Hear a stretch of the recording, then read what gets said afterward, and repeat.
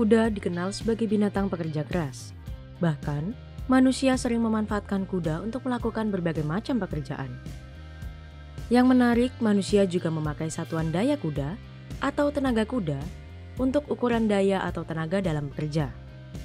Namun ternyata satuan daya kuda tidak mencerminkan tenaga sebenarnya yang dimiliki seekor kuda.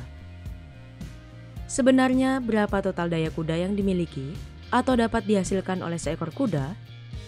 Yang jelas bukan satu daya kuda, melainkan jauh lebih besar dari itu. Daya kuda atau horsepower adalah unit pengukuran daya paling sering digunakan untuk mengukur kekuatan mesin mobil. Namun, satuan daya ini juga mungkin dipakai untuk mengukur potensi kekuatan hewan seperti kuda.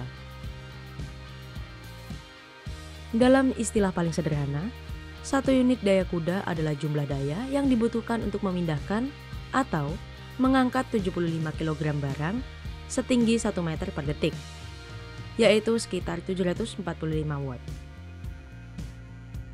Unit ini pertama kali disusun sekitar tahun 1780 oleh insinyur Skotlandia James Watt untuk membandingkan keluaran tenaga mesin uap dengan seekor kuda penarik.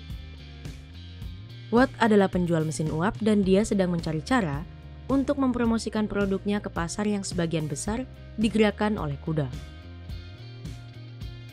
Dengan merancang satuan daya kuda, Watt mampu menunjukkan keuntungan menggunakan mesin uap dan meyakinkan pemilik pabrik untuk membuang kudanya. Melalui beberapa perhitungan yang cukup longgar berdasarkan seekor kuda yang menarik roda gilingan selama 4 jam, Watt mengetahui bahwa kuda itu bergeser kira-kira setara dengan 249 kg atau 550 pound dengan satu kaki dalam satu detik. Namun, ini bukanlah potensi penuh dari seekor kuda. Jadi, berapa daya kuda yang sebenarnya dimiliki oleh seekor kuda? Pada kenyataannya, output tenaga mekanik puncak dari seekor kuda adalah lebih dari 12 daya kuda. Angka itu berasal dari dua ilmuwan yang menerbitkan sebuah makalah di jurnal Nature pada tahun 1993. Ini berdasarkan pengamatan bahwa daya mekanik berkelanjutan maksimum per kilogram otot adalah 100 200 watt. Mereka memperkirakan bahwa otot-otot kerangka kuda adalah sekitar 45% dari total massa, tetapi mereka hanya menggunakan 30%-nya saat berlari. Jika kita mengambil kuda seberat 600 kg, maka secara teoritis dapat menghasilkan daya 18.000 watt. Karena satu daya kuda sekitar 745 watt, 18.000 watt itu akan menjadi 24 daya kuda. Tapi ini kemungkinan besar merupakan perkiraan yang berlebihan. Mengutip beberapa data berusia puluhan tahun, para peneliti percaya bahwa seekor kuda yang bugar kemungkinan besar hanya dapat memompa antara 12 hingga 14,9 daya kuda.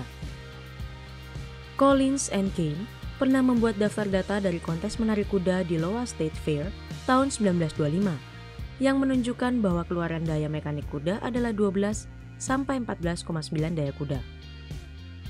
Upaya ini hanya berlangsung beberapa detik dan mungkin merupakan perkiraan kinerja puncak yang realistis. Sebagai perbandingan, daya kuda rata-rata dari sebuah mobil biasanya berada di antara 180 dan 200 daya kuda.